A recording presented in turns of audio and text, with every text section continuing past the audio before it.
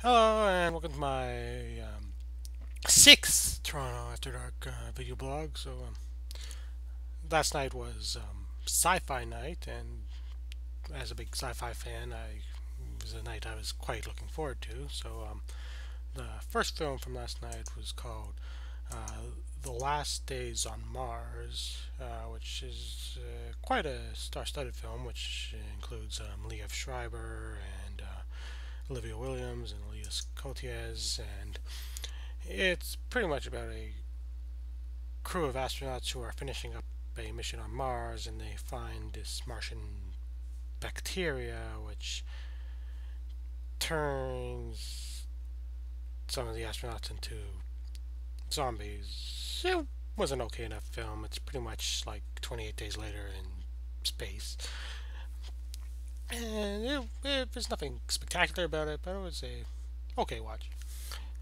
However, the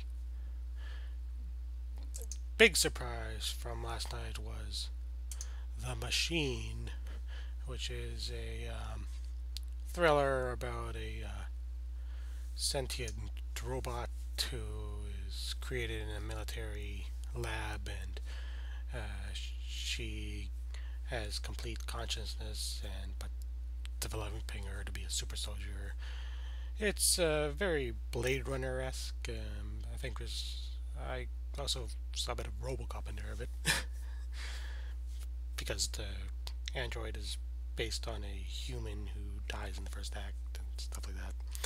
Uh, and it was a very enjoyable film. Uh, sadly, it was marred a bit by um, technical difficulties which caused the film to stop for a few minutes just before the climax. But it, uh, the movie started up quickly and it ended fine, and it's one of my favorites of the festival so far.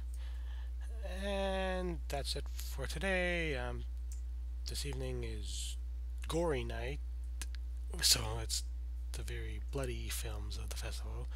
So there's um, film called Found, and then there's the world premiere of his crazy gore fest called Evil Feed, which should be fun to watch.